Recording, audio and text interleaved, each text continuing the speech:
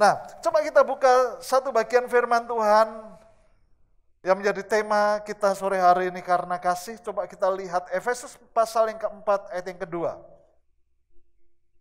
Efesus 4 ayat yang kedua demikianlah firman Tuhan. Hendaklah kamu selalu rendah hati, lemah lembut dan sabar.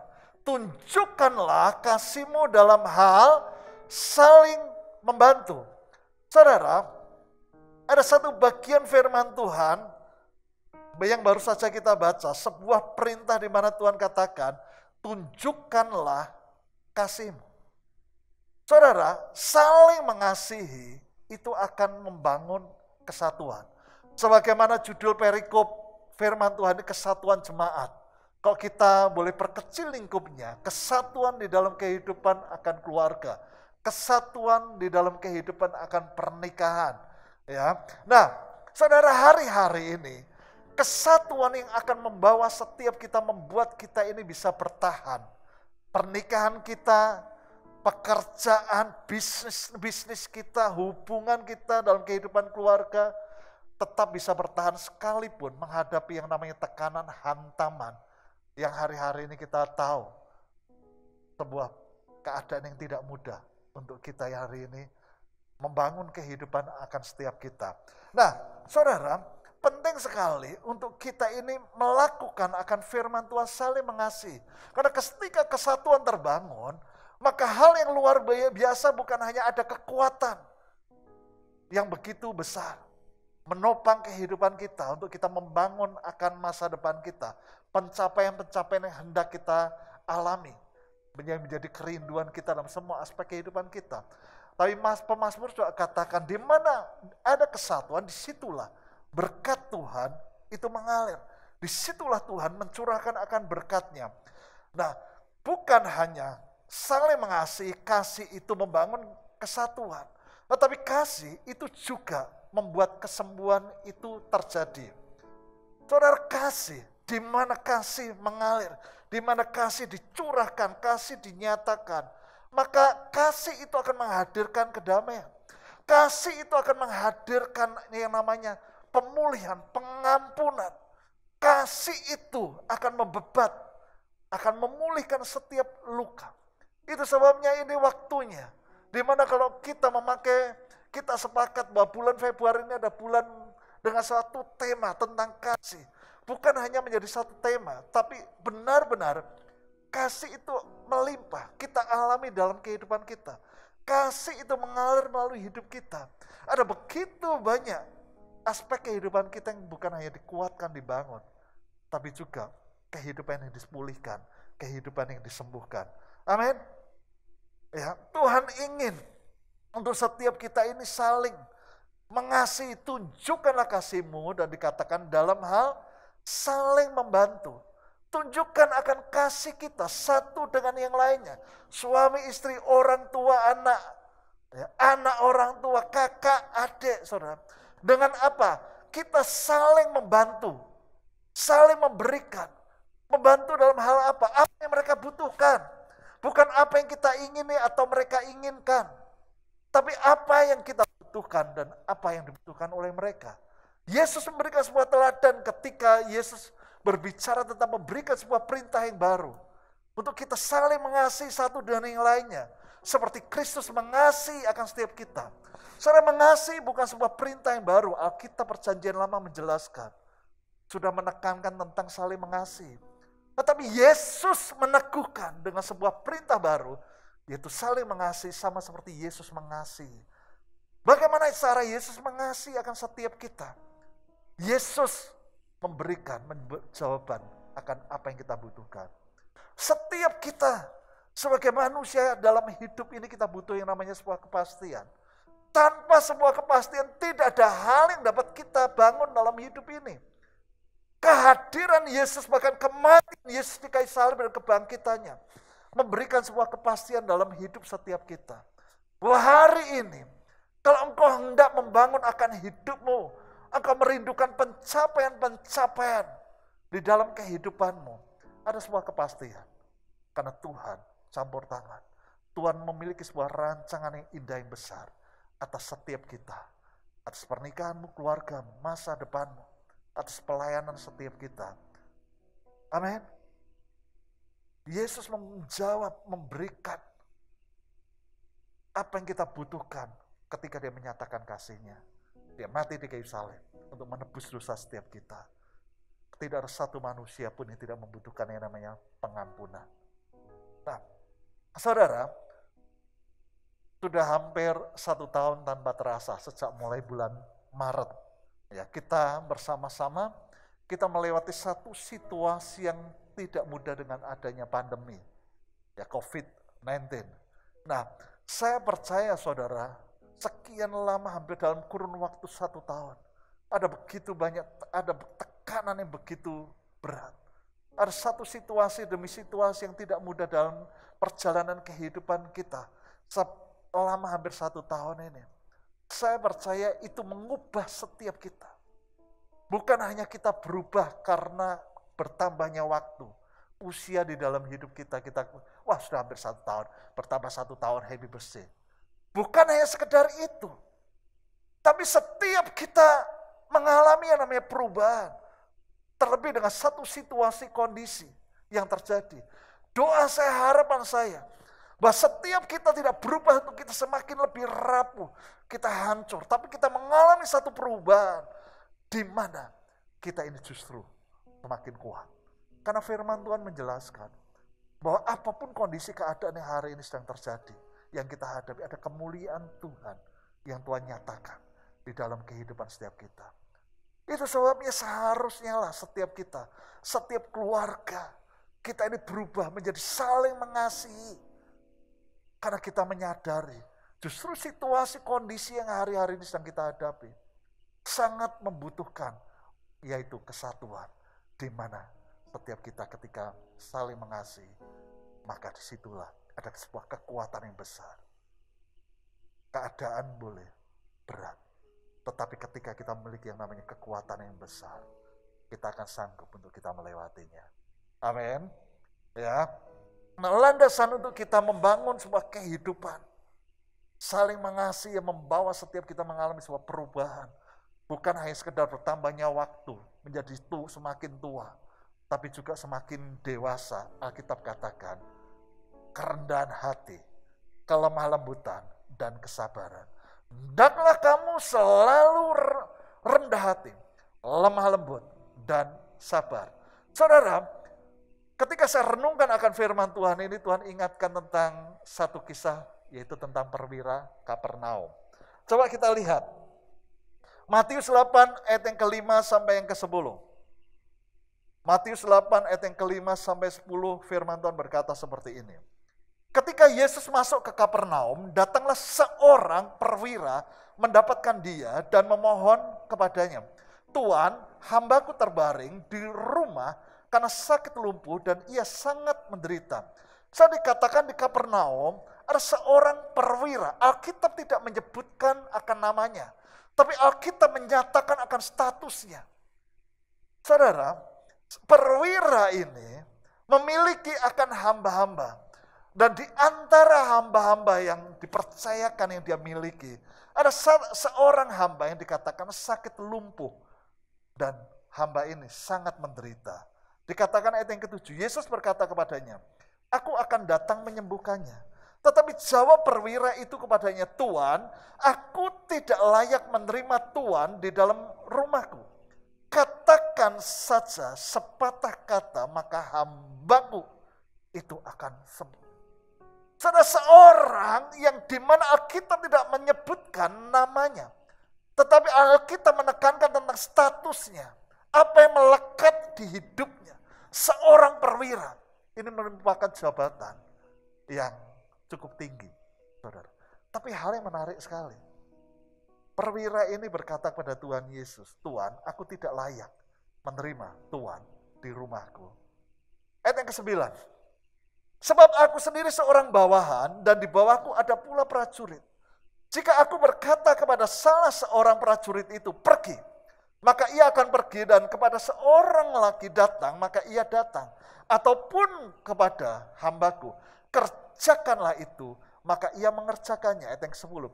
Setelah Yesus mendengar hal itu, terheranlah ia dan berkata kepada mereka yang mengikutinya, Aku berkata kepadamu, sesungguhnya iman sebesar ini tidak pernah aku jumpai pada seorang pun di antara orang Israel. Jelas sekali kisah ini menjelaskan. Perwira Kapernaum ini pergi menemui Yesus. Alasannya, karena kasih. Kan ada belas kasih. Perwira ini kepada hambanya yang sakit. Dan menarik sekali, saudara. Ketika perwira ini datang kepada Tuhan Yesus dan dia berkata, hambaku terbaring di rumah karena sakit lumpuh. Dan ia sangat menderita. Yesus berkata kepadanya, aku akan datang menyembuhkannya. Saudara, selalu Yesus itu berbelas kasihan. Kenali siapa yang kau ikuti. Itu pribadi Yesus Kristus yang penuh dengan belas kasih. Itu sebabnya saudara, Alkitab ini ketika saya merenungkan itu menak, bukan hanya memberkati tapi meneguhkan. Hari ini apa menjadi pergumulan berat dalam hidupmu? Apa yang kau butuhkan? Apa yang merupakan tantangan, masalah, ketidaksanggupanmu, bahkan kesakitan dalam hidupmu? Yesus itu peduli. Yesus itu punya kasih. Yesus bukan hanya dia berkata tunjukkan kasihmu, tapi dia berkata aku akan tunjukkan kasihku kepadamu. Saudara ketika kita hari ini belajar mengenal pribadi yang kita ikuti, itu akan membuat kita ini kokoh dalam perjalanan iman kita untuk kita mengikut siapa yang kita ikuti. Banyak orang itu berkata, aku ingin mengasihi. Aku mengasihi kamu. Tetapi tidak ada tindakan nyata yang mendatangkan sesuatu yang mengubahkan pemulihan, kesembuhan, mujizat. Tetapi ini luar biasa perwira Kapernaum. Dia mengasihi hambanya. Dan diikuti dengan sebuah tindakan yang mendatangkan sebuah pemulihan, kesembuhan, mujizat. Itu sebabnya menarik sekali untuk kita merenungkan tentang perwira Kapernaum ini. Saudara, perwira Kapernaum ini memiliki tiga hal yang menjadi landasan untuk dia membangun kehidupan yang penuh dengan kasih, yaitu kerendahan hati. Yang kedua, kelemah lembutan dan kesabaran. Dan hal yang menarik sekali ketika Yesus bersentuhan dengan perwira Kapernaum ini. Yesus berkata, iman sebesar ini tidak aku dapati, aku temukan. Bahkan di antara orang Israel. Artinya apa saudara? Iman itu akan bertumbuh subur dalam atmosfer karakter yang seperti ini. Di mana ada kelemah lembutan, kerendahan hati, dan kesabaran. Banyak kita berkata, aku ingin punya iman besar. Karena ketika aku punya iman besar, aku akan menjadi orang yang kuat. Aku akan menjadi orang yang mengalami mujizat demi mujizat dalam hidupku. Tapi ketahuilah, iman itu akan bertumbuh subur dalam atmosfer karakter seperti ini. Bertumbuhlah di dalam kerendahan hati. Bertumbuhlah di dalam kelemah lembutan. Bertumbuhlah di dalam kesabaran. Nah yang pertama saudara, rendah hati. Perwira Kapernaum ini mengajarkan kepada setiap kita yang rindu untuk bertumbuh di dalam iman kita semakin tinggi posisi atau jabatan seseorang, justru seharusnya itu membawa kita semakin rendah hati kita belajar dari perwira Kapernaum ini. Ada statement yang berkata seperti ini. Berilah seseorang jabatan, maka Anda akan tahu dia sebenarnya. Berilah dia jabatan, maka Anda akan tahu kualitas yang sebenarnya yang ada padanya. Saudara ketika perwira Kapernaum ini di hidupnya, di pundaknya melekat status. Justru menyatakan, membawa setiap kita itu mengenal dia adalah seorang yang rendah hati. Saudara, orang yang rendah hati itu tidak perlu membuktikan diri, apalagi membenarkan diri. Orang yang rendah hati itu selalu memberi ruang bagi Tuhan untuk menjelaskan atau membela dia.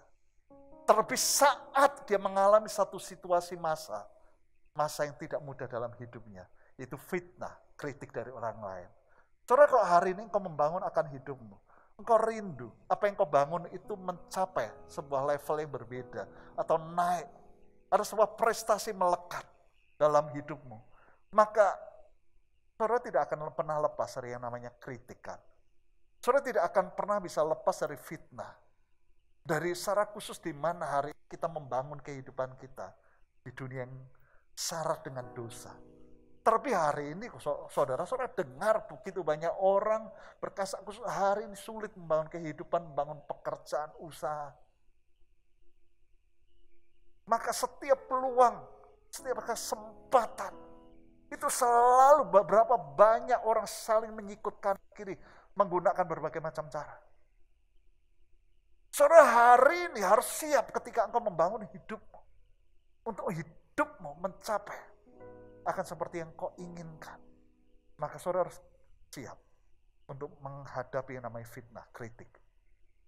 Tetapi dibutuhkan untuk engkau bisa bertahan. Kerendahan hati.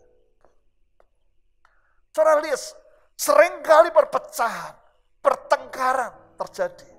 Karena kita menganggap diri kita ini penting.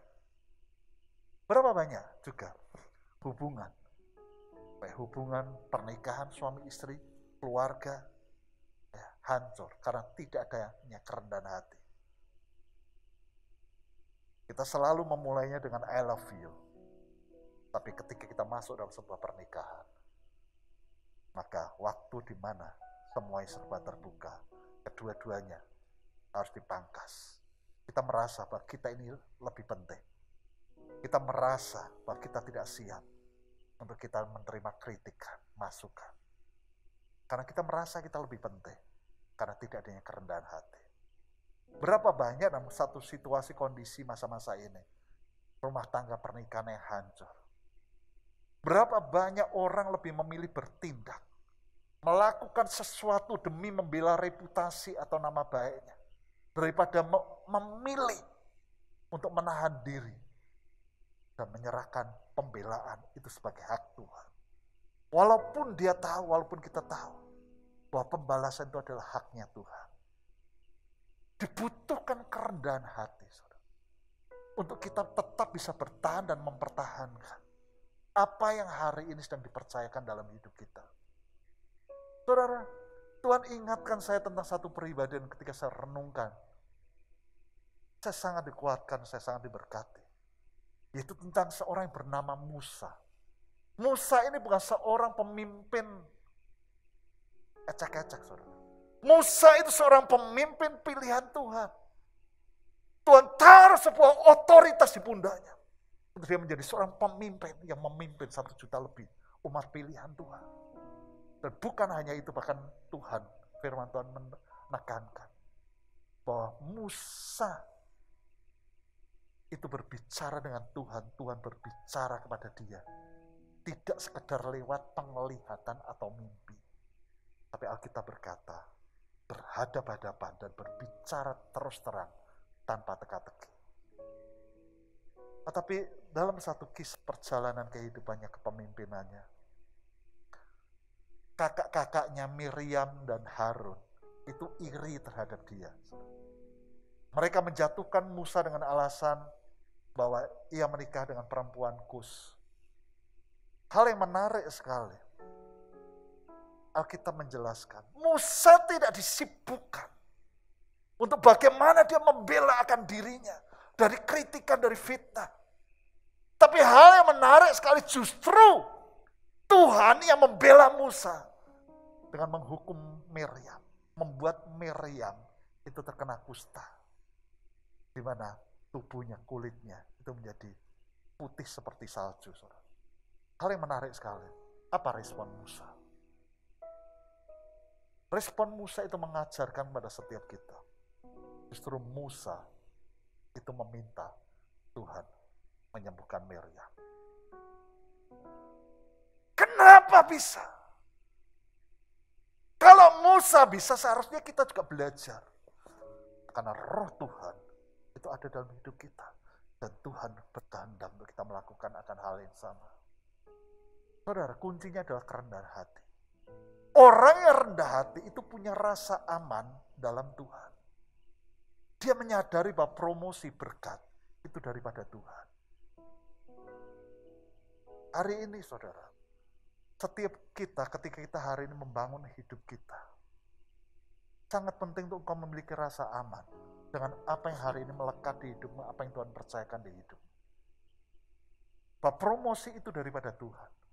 Tidak akan pernah ada satu orang pun bisa mengambil tanpa seizin Tuhan.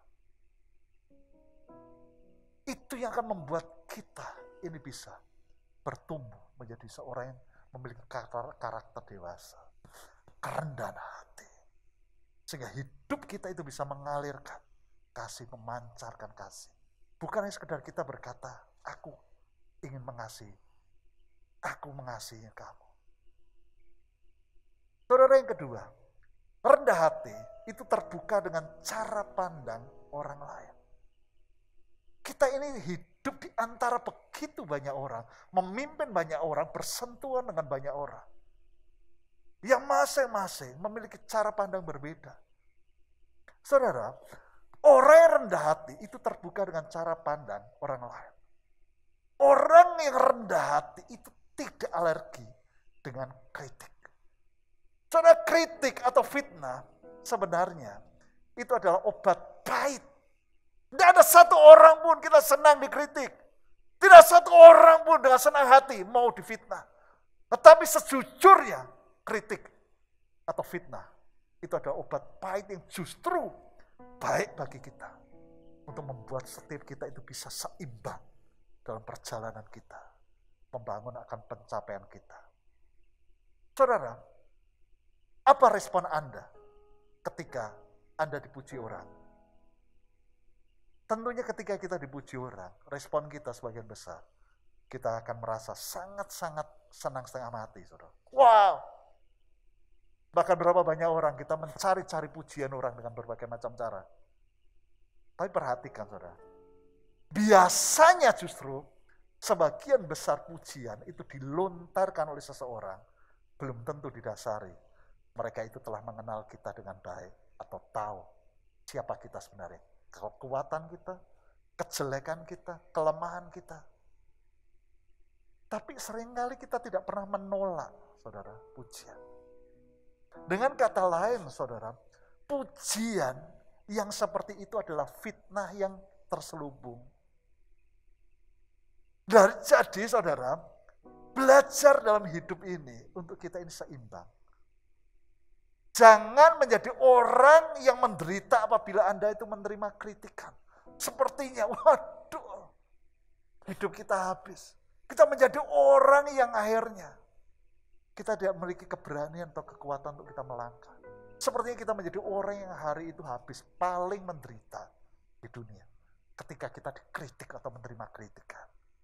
Jadikan kritikan itu menjadi sarana untuk kita ini bisa bangkit, membangun lebih lagi tetapi sebaliknya juga. Jangan terlalu GR atau besar kepala ketika ada orang yang memuji kita. Kita ini harus bisa seimbang dalam hidup ini. Coba selain rendah hati itu terbuka dengan cara pandang orang lain. Rendah hati itu juga mengutamakan kepentingan bersama. Orang yang rendah hati bukan seorang egois. Tapi orang yang rendah hati, dia mengutamakan kepentingan bersama. Dia tahu tidak ada satu orang pun sukses seorang diri. Saudara, saudara kok saudara hari ini ingin pernikahanmu indah? Dua orang aja. Pernikahanmu berjalan dengan manis. Maka dibutuhkan yang namanya kerjasama kesatuan. Itu sebabnya Alkitab berkata, kamu bukan lagi dua, melainkan satu. Orang yang rendah hati itu mengutamakan kepentingan bersama. Nah, Orang seperti ini akan terlihat dari caranya membangun hubungan dengan orang lain. Kalau ketika kita berbicara tentang hub, membangun hubungan, selalu kita akan bersentuhan dengan yang namanya perbedaan.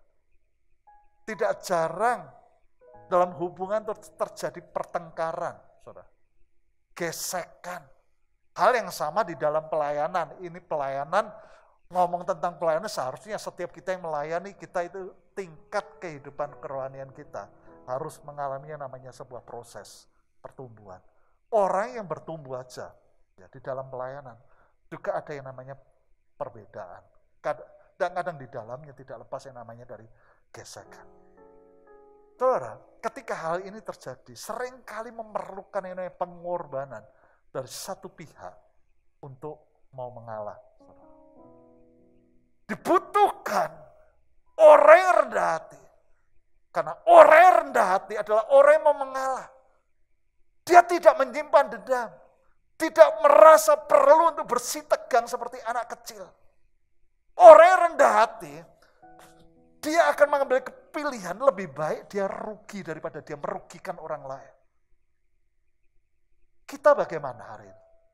Kita lebih ngambil pilihan kita merugikan orang lain atau kita lebih baik untuk kita ini rugi. Orang yang rendah hati, bukan hanya seperti itu. Terlebih sudah berbicara tentang Tuhan. Orang yang rendah hati, itu lebih baik. Dia mengalami kerugian daripada dia merugikan atau mempermalukan nama Tuhan. Sudah dia mengalah. Komentar maaf ya.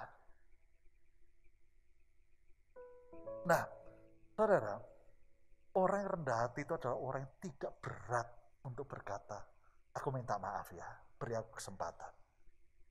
Orang yang rendah hati itu adalah orang yang tidak berat hati, berat kata untuk berkata, terima kasih ya, so thank you. Kalau kita mau belajar tentang kerendahan hati, belajar dimulai dari perkara-perkara yang kecil. Dimulai dari hubungan di dalam keluarga lingkup terdekat dalam kehidupan kita kalau hari ini orang tuamu memberikan sesuatu perhatian, kasih, memberikan kebutuhan. Pernahkah engkau berkata, Pak, Ma, terima kasih ya buat kasihnya. Kalau hari ini engkau terima sesuatu dari pasanganmu, suamimu, istrimu, belajar. Terima kasih ya. Karena ketika kita gagal membangun kehidupan kerendahan hati dan perkara-perkara yang sederhana seperti itu di lingkup terdekat dalam kehidupan kita, percayalah kita akan gagal dalam lingkup ruang yang lebih lebar di luar pekerjaan, per, persahabatan, maupun di dalam pelayanan. Saudara, hal-hal yang kita hari ini belajar tentang kerendahan hati Semuanya itu menunjukkan tentang tingkat kedewasaan. Menjadi tua itu pasti. Tapi menjadi dewasa itu pilihan. Keputusan kita mulai dari perkara-perkara yang bukan besar, kecil. Hari ini kita berbicara tentang kasih. Ayo kita sama-sama praktek. Saya praktek, saudara praktek, kita bertumbuh bersama-sama. Amin. Ya, karena firman Tuhan yang berkata di dalam Filipi 2 ayat yang ketiga, dengan tidak mencari kepentingan sendiri atau puji-pujian yang sia-sia, sebaliknya hendaklah dengan rendah hati yang seorang menganggap yang lain lebih utama daripada dirinya sendiri. Kita bukan hanya akan bertumbuh, tapi tercipta sebuah kehidupan yang indah di tempat ini. Dan hal yang menarik sekali, Tuhan itu berkenan kepada orang seperti ini. Kalau Tuhan berkenan kepada kita, perkenanan Tuhan turun dalam hidup kita, kita akan melihat hal-hal yang kita rindukan, kita inginkan. Untuk Tuhan kerjakan dalam hidup kita. Itu akan dikenapi. Amin. Beri tepuk tangan yang terbaik buat Tuhan kita yang baik. Haleluya. Yang kedua saudara, lemah lembut. Saudara lemah lembut itu dalam bahasa Yunaninya, ya karena perjanjian baru ditulis dengan bahasa Yunani itu prautetos. Prautetos itu artinya adalah orang yang marah pada saat yang tepat. Orang orang yang lemah lembut itu bukan ya kata-katanya itu sampai kalau kita ngomong dengan orang ini ya kita itu harus menyendengkan telinga kita dekat karena ngomong itu bisik-bisik bukan seperti itu itu bukan orang lemah lembut saudara itu orang yang malu dengan dirinya sendiri. Saudara. Tapi juga jangan kebablasan orang yang teriak-teriak, itu over. Itu orang yang cari perhatian. Saudara. Nah, tidak bisa menguasai diri. Nah, bukan berarti juga orang yang lemah lembut itu ya gerakannya itu lemah gemulai, itu orang lemah lembut. Tidak seperti itu. Yesus itu berkata, aku lemah lembut belajarlah daripadaku. Yesus itu bisa marah. Satu kali ketika dia Yerusalem, dia marah ketika dia lihat bait Allah dipakai untuk berjualan. Saudara, protetos ini, kata pros digunakan untuk menggambarkan perangai seekor kuda yang sudah dijinakkan. Saudara, kuda itu memiliki kekuatan yang besar. Itu sebabnya kalau saudara beli mobil, ya kekuatannya diukur dari berapa kekuatan kuda. Karena kuda, seekor kuda itu memiliki kekuatan yang besar. Tapi kalau kuda ini, kuda liar yang tidak dijinakkan, dan kekuatannya, itu bisa merusak saudara, merusak kebun, ya, merusak begitu besar saudara. Nah, tetapi kalau kuda ini dijinakkan, kuda yang liar ini, dan kekuatan yang besar itu dijinakkan dulu, maka kuda ini bisa dipakai saudara, untuk membantu akan pekerjaan. Nah orang yang lemah lembut, itu adalah orang yang bisa mengatur dan mengontrol akan amarahnya. Marah kepada orang yang tepat, marah dalam situasi yang tepat, marah karena punya alasan yang tepat, dan dalam jangka waktu yang tidak lama. Orang yang lemah lembut itu tidak mendendam. Itu orang lemah lembut. Jadi orang yang lemah lembut itu adalah orang yang bisa mengendalikan akan dirinya. Dia tidak liar. Saudara coba lihat, tadi saya ajak setiap kita merenung tentang kehidupan Musa. Lihat bilangan 12 ayat yang ketiga. Bilangan 12 ayat yang ketiga firman Tuhan berkata seperti ini. Adapun Musa ialah seorang yang sangat lembut hatinya. Lebih daripada setiap manusia yang di atas muka bumi. Saudara menarik sekali ayat firman Tuhan yang menjelaskan tentang Musa itu seorang yang lemah lembut, ya, lembut hatinya. Itu terletak di dalam perikop yang man, di mana perikop itu berkisah tentang pemberontakan Miriam dan Harun. Nanti saudara, saudara baca secara utuh di rumah. Bilangan 12. Artinya saudara, inti dari kelembutan hati Musa itu disimpulkan melalui kisah pada perikop ini. Nah kisah pada perikop ini apa? Meriam, Harun, yang adalah saudara Musa, itu berkehendak menjatuhkan akan Musa.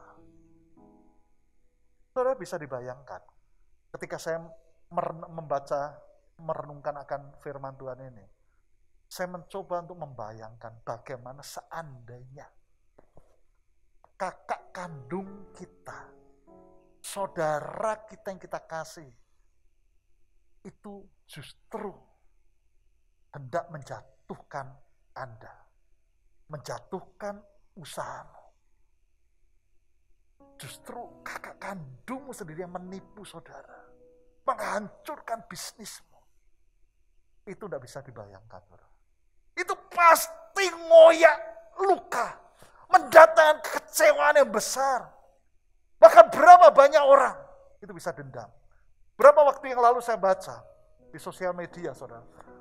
Seorang bapak tua sudah usia 85 tahun, saudara. Oleh anaknya diajukan ke pengadilan. Gara-gara warisan. Tuntut, anak ini menuntut berapa M? 3 M atau berapa? Nah bapak ini di pengadilan dia menangis. Di usia yang tua dia berkata, Mana mungkin aku punya uang sebanyak itu. Sejak anak-anak masih kecil aku harus bela, aku harus bekerja keras. Siang kepanasan, hujan kehujanan, mengais rupiah, mengumpulkan rupiah demi rupiah untuk menyekolahkan akan anak-anakku. Aku ingin anak-anakku menjadi orang yang berhasil. Eh, ketika anak-anakku punya pendidikan, ketika mereka punya titel, Justru mereka menuntut aku di pengadilan. Bapak ini mengungkapkan akan hatinya dengan tangisan dan kesesakan.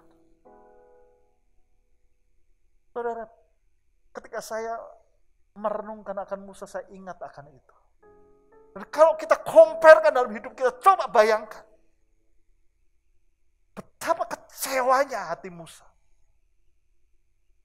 Tetapi hal yang luar biasa. Ketika saudara ikuti kisah ini. Ketika Tuhan justru yang membela Musa, Tuhan menghukum kakak Musa. Hal yang sama coba kita bayangkan. Ketika Tuhan melihat hal semua, dan Tuhan dapati kita memiliki sikap hati benar.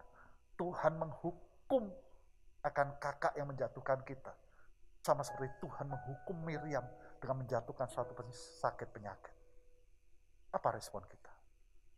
Biasanya kebanyakan orang responnya seperti ini. Syukurin kapokmu kapan? Biasanya responnya seperti itu. Daripada kita membantu akan biaya pengobatannya. Tapi apa respon Musa?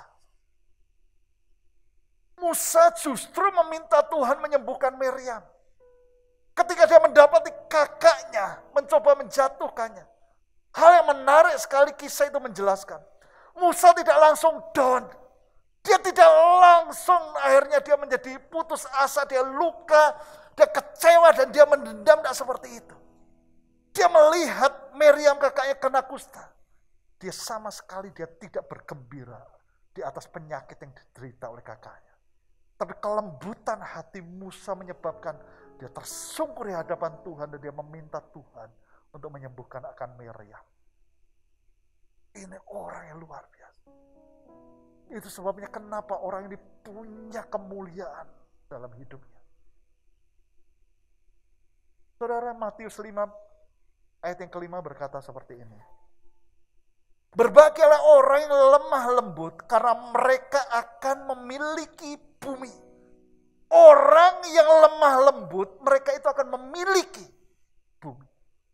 Saudara, Anda ingin menjadi orang yang memiliki atau justru menjadi orang yang kehilangan. Kelemah lembutan, kedewasaan, karakter sangat menentukan. Hari ini kita menjadi orang yang dipercaya atau kita menjadi orang yang butuh. Karena Alkitab berkata, berbahagialah orang yang lemah lembut karena mereka akan memiliki bumi. Yang ketiga, saudara, yang terakhir, sabar. Coba kita lihat Amsal 14 ayat yang ke-29. Firman Tuhan berkata seperti ini. Orang yang sabar besar pengertiannya. Tetapi siapa cepat marah membesarkan kebodohan. Orang yang sabar besar pengertiannya. Tetapi siapa cepat marah membesarkan kebodohan. Saudara, baik orang sabar, baik sabar maupun marah, itu sama-sama akan menunjukkan emosi. Tetapi, sekalipun sabar maupun marah sama-sama menunjukkan emosi, tetapi keduanya memberikan dampak yang sangat berbeda. Orang yang sabar itu bisa menekan emosinya dan dapat lebih tenang serta tidak terpancing emosionalnya oleh keadaan atau masalah. Dia bisa menyikapi keadaan maupun permasalahan yang datang dalam kehidupannya. Sementara orang yang marah, saudara, akan sangat emosional serta dengan mudah terpancing emosional oleh keadaan atau masalah. Nah, saudara, kalau ditawarkan kepada kita kita lebih suka menjadi orang yang sabar atau pemarah. Tentunya kita banyak di antara kita kita akan berkata, aku suka, aku lebih senang untuk menjadi orang yang sabar. Bahkan kita lebih senang untuk kita ini berrealisasi apa ber, berrelasi dengan orang yang sabar. Nah, hal yang menarik sekali kita memandang kehidupan di sekeliling kita Sayangnya, saudara, ada beberapa orang yang memiliki anggapan yang salah. Berapa orang memiliki anggapan seperti ini bahwa kemarahan itu dapat menyelesaikan segala masalah yang ada dengan cepat dan tepat. Itu sebabnya ada orang yang selalu menyelesaikan masalah dengan marah terlebih dahulu, saudara. Satu contoh kalau kita berbicara tentang hari ini. setiap kita ada di dunia pekerjaan. Ada seorang atasan yang berhadapan dengan bawahan ketika dia melihat mereka tidak menjalankan tugas dengan baik dan tanggung jawabnya dengan baik. Maka dia menunjukkan akan kemarahan tujuannya supaya mereka ini ya melakukan tanggung jawabnya dan pekerjaannya dengan baik. Ya, dia berkata, aku punya alasan kok untuk aku marah. Kalau aku tidak marah-marah, mereka semua akan bekerja begitu lambat. Saudara, kalau kita melihat sepintas, itu benar. Mengapa? Karena ketika para pegawainya itu dimarahi, para pegawainya itu menuruti. Karena takut untuk dimarahi lebih lagi, saudara. Itu respon yang pertama. Respon yang kedua biasanya, ya, mereka itu memang melakukan akhirnya pekerjaan seperti yang diinginkan oleh atasannya. Tetapi mereka melakukannya dengan sakit hati. Saudara. Nah respon yang ketiga, atau justru karena atasannya saudara, punya kebiasaan suka marah, marah terus saudara. Akibatnya ketika atasannya marah saudara, tidak lagi didengar diacuhkan. Berapa banyak? Ya. Saudara menjadi orang yang acuh tak acuh ketika orang tua yang marah. Wah, sudah biasa papa mama marah. Dengan kata lain, saudara, sikap marah itu tidak pernah menyelesaikan persoalan dengan baik dan tuntas. Positifnya ada, tetapi jauh lebih besar ada ruang yang lubang. Karena sikap marah tidak pernah menyelesaikan persoalan dengan baik dan tuntas. Nah, saudara, mengapa orang yang sabar Alkitab katakan besar pengertiannya? Karena orang yang sabar itu lebih dapat menyelesaikan masalah dan pergumulan hidup dengan lebih baik. Karena orang yang sabar, itu namanya orang sabar, itu akan lebih berhati-hati untuk dia menyampaikan, menanggapi, bahkan memberikan penilaian atas satu masalah yang dia hadapi. Orang sabar, dia tidak akan mengedepankan amarah. Dia akan mencari data-data terlebih dahulu, baru kemudian memberikan tanggapan yang tepat. Bahkan orang yang sabar, saudara, dia juga memikirkan bagaimana untuk dapat menyampaikan masalah yang dihadapi dengan baik pada waktu yang tepat. Nah, sesuatu yang baik ketika kita mengeksekusinya dengan cara yang salah, hasilnya tidak akan pernah bisa maksimal. Itu sebabnya Alkitab berkata, orang sabar akan lebih banyak pengertiannya daripada orang yang pemarah. Segala sesuatu yang baik ketika kita mengeksekusinya pada waktu yang tidak tepat dengan cara yang tidak tepat pun hasilnya itu tidak seperti yang kita harapkan. Satu contoh aja. Ya. Ketika anak kita ya berkata, Pak, ma, ma, besok harus bayar ini, ma. SPP harus bayar semester. Ya, uang semester. Kalau enggak, aku enggak bisa ikut ujian. Dan mamanya lihat jumlahnya besar. Karena cinta orang tua terhadap anaknya, pasti kita akan memperhatikan. Tidak ada satu orang tua pun kita ingin anaknya, anak kita gagal untuk mengikuti ujian. Kita akan mengusahakan. Nah, cara itu sesuatu yang baik. Tetapi ketika kita mengeksekusinya pada waktu yang tidak tepat dengan cara yang salah, hasilnya itu juga tidak maksimal. Ketika suaminya baru pulang, masuk, baru duduk, eh pak, sambut. Lepas sepatu pun belum. Lepas sepatu sudah, pak, ini loh, anak kita itu harus bayar ini, ini. Besok, kalau udah bayar udah bisa ikut ujian. Besok harus bayar loh pak. Dan ternyata saudara hari itu, suaminya, ya seharian menghadapi begitu banyak persoalan masalah yang ada di kantor membuat kapasitas hatinya itu sudah penuh saudara sehingga tidak memiliki daya tampung untuk persoalan itu masuk. Dan ketika itu disampaikan, meledak saudara marah. Jadi ribut. Itu sesuatu yang baik. tapi dieksekusi pada waktu yang tidak tepat dengan cara yang tidak tepat, hasilnya justru ribut. Orang yang sabar besar pengertiannya. Dibutuhkan kesabaran untuk kita melihat dan mengambil sebuah keputusan yang tepat untuk mengeksekusi. Saudara coba sekarang lihat. 2 Korintus 6 ayat yang keempat ini yang terakhir.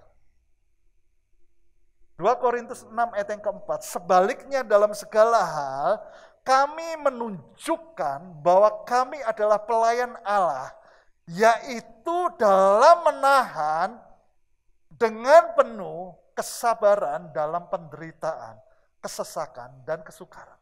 Kalau kita berkata, aku itu hamba Tuhan, Ya, hamba Tuhan itu bukan melayani statusnya full time, enggak. Ya, tapi artinya kita memiliki sikap hamba. Kita menjadikan pribadi Tuhan itu menjadi Tuhan dalam hidup kita. Setiap kita adalah hamba Tuhan. Dikatakan ya, dalam kita ini menahan dengan penuh kesabaran dalam penderitaan, kesasakan, dan kesukaran. Hal yang menarik sekali, saudara. Kata kesabaran di sini, di kata Yunaninya itu ditulis dengan makrotomia Nah, makrotomia ini terdiri dari dua kata, saudara. Makros, yang artinya panjang, dan tumos yang artinya adalah watak. Nah, makrotomia ini bisa ini diartikan sebagai watak atau sifat manusia yang tahan hantaman. Nah, saudara, seorang yang punya kesabaran makrotomia ini, dia akan tahan menghadapi kesukaran, tantangan ancaman yang ada di sekelilingnya. Hari-hari ini saudara, untuk engkau dan setiap kita saya dapat bertahan menghadapi tantangan, kesulitan. Kita membutuhkan yang namanya makrotomia. Setiap kita, eh, setiap manusia itu dilahirkan dengan karakter yang berbeda. Ada beberapa orang, ya, ketika dia dilahirkan sejak sejak dia bayi sudah kelihatan ketika dia mulai bertumbuh dia adalah orang yang lebih sabar daripada orang lain dalam hidup bermasyarakat. Tetapi kesabaran yang berbentuk makrotomia, yaitu kemampuan, kesanggupan untuk menghadapi, menerima keadaan yang tidak menyenangkan tanpa mengeluh, itu bukan bawaan kelahiran.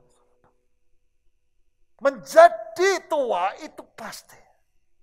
Tapi menjadi dewasa, itu pilihan makrotomia itu bertumbuh dan dihasilkan melalui sebuah pilihan demi pilihan dalam hidup ini. Untuk kita itu belajar mengucap syukur. Menyikapi segala keadaan kita belajar dengan kerendahan hati. Kita libatkan Tuhan. Maka orang yang seperti ini, saudara, Amsal 16 ayat yang ke-32 katakan, orang yang sabar melebihi seorang pahlawan. Orang yang menguasai dirinya melebihi orang yang merebut kota. Ini adalah orang lebih daripada pemenang. Siapa? Saya dan saudara. Saya undang untuk setiap kita bisa bangun berdiri. Mari kita datang kepada Tuhan.